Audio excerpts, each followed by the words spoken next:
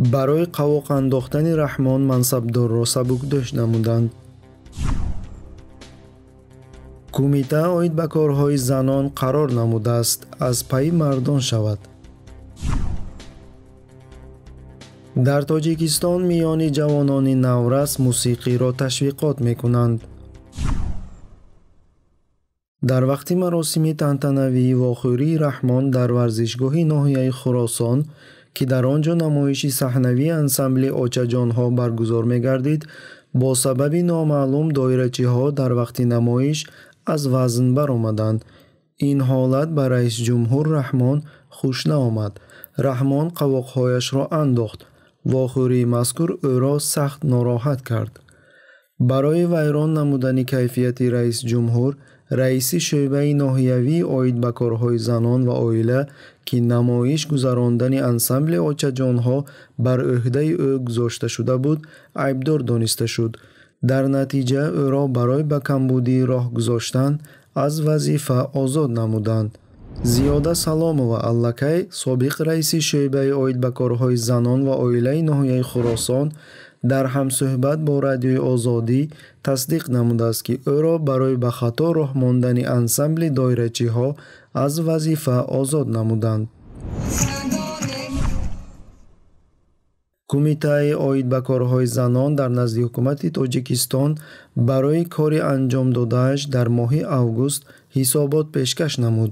Чӣ тавре ки ҷонишини раиси кумита марҳабо олимӣ баёнот додааст зери дастонаш аз 8 август то 13 август бо 8000 занони тоҷик бо мақсади даст кашидан аз ҳиҷоб суҳбатҳои ташвиқотӣ гузаронданд. Инчунин ӯ қайд намудааст ки бо мардони тоҷик низ суҳбат гузарондан лозим то ин ки онҳо ба занони худ таъсир гузаронанд ва занон аз ҳиҷоб даст кашанд. Мо бояд дар миёни мардон корҳои тавзеҳӣ гузаронданамон лозим иброз намуд. Ӯ ёдрас мекунем ки солҳои охир аз тарафи режими раҳмон нисбати либоси занонаи исломӣ ҷанг эълон намудааст. Ҳоло занони ҳиҷобдорро дар сохторҳои давлатӣ таъқиб менамоянд. Ба мактаб духтарон бо ҳиҷоб ба дарс иштирок намудан манъ аст мақомоти давлатӣ дар ҷойҳо мунтазам суҳбатҳои тавзеҳӣ мегузаронанд.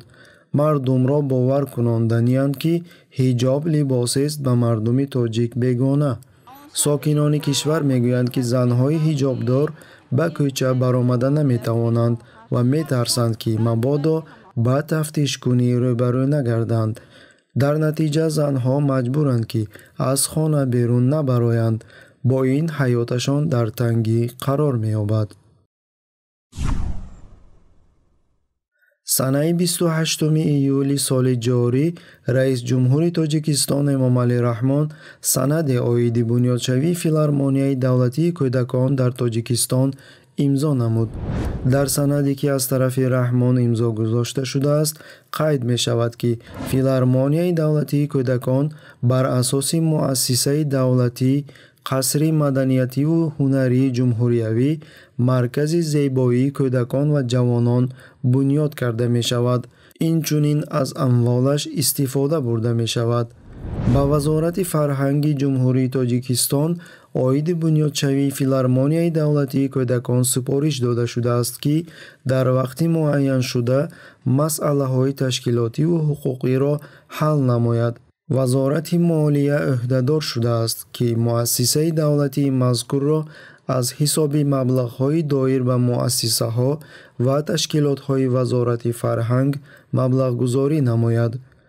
Таҳлилкунандагон бар он ақидаанд ки аз тарафи ҳукумат ташкилшавии муассисаҳои мазкур рағбат барои ташвиқоти паҳн намудани тарзи зиндагии дунявӣ миёни ҷавонон мебошад ба ислом шавқ пайдо кардани ҷавонон режимро ба таҳлука меандозад.